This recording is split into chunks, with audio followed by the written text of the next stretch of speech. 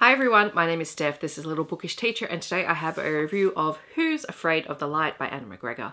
This is a gorgeous picture book that was sent to me by the publisher Scribble Kids Books and I'm so grateful. This book is awesome. They also sent some really cool little bits and pieces with the book. So there is a bookmark, there is a gorgeous postcard, there is a scratch art plate that has the instructions for what to use it for, which is really cool. And you'll see why when I talk about the book, as well as quiz and some activities, which would be great for kids. So Who's Afraid of the Light is a fictional non-fiction text. I'm going to read you the synopsis. It says, come on a trip to the deepest, darkest depths of the ocean. There are many fascinating creatures that call it home.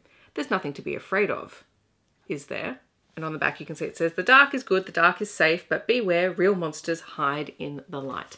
A lot of this book has this feature like scratch art, which I absolutely love. So that's where that little activity comes into play. So the basic premise of this book is about Anna McGregor exploring the midnight zone of the ocean, that layer of the ocean where no natural light penetrates, and the creatures that live there. So we learn about these creatures through a fictional text. So you have the narrator who has this white text, and then this character called Fergus who the narrator is talking to through the book. And as we go through the book, we meet various creatures, and the narrator tries to figure out what kind of animal Fergus is because the narrator can't see Fergus. And also, Fergus has never seen itself, so he has a bit of trouble describing itself to the narrator. And of course, it does come down to the fact of is Fergus hiding or is Fergus something else? Because many of the creatures that live at the bottom of the ocean use light to lure in prey. And so those are the kinds of animals that we learn about. And there's a really great page at the back of the book that has information about all the animals that we meet in the story, as well as some of the key scientific terms like bioluminescence, which makes it really great for exploring as a non-fiction text as well as a fictional story. The things that I loved about this, I love fictional nonfiction texts because they make learning facts about various topics very digestible for kids, which means you can read this book and not feel like you're going to be completely bogged down by lots and lots of facts that the kids have a hard time learning about. So for younger readers, this is great because as you go through the story and we meet various characters, the narrator tells us something about them and it's a very short paragraph that is very easily broken down for younger readers. This has a great topic. It's very intriguing. Who doesn't want to know about all those creatures that live in a part of the ocean that is so far down that it seems almost alien?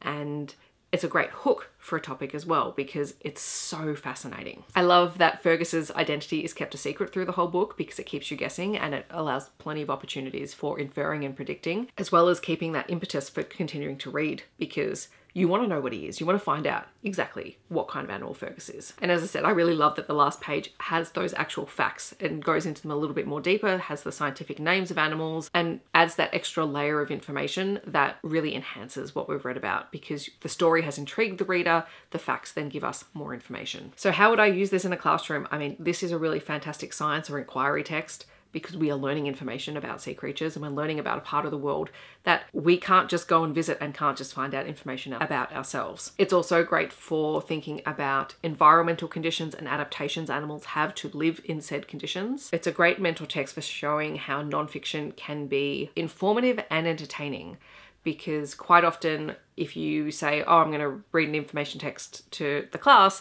you're thinking of a like an actual fact book. Whereas this has plenty of facts in it, but it's a picture storybook first and foremost. And the story is driven by the facts that we find out about in it. So it's a really interesting way of learning things. And it's a great way to show kids that information just doesn't have to be written in a report. It can be written in a very entertaining way. Because this book does have nonfiction elements, it's a really great jumping off point for tier three words like bioluminescence and scientific language. You read about it in context, you pull it apart, you learn about the word, really great for building vocabulary. It's also got a really fantastic first sentence hook. So it says, here we are at the deepest, darkest depth of the ocean, beyond sunlight's reach.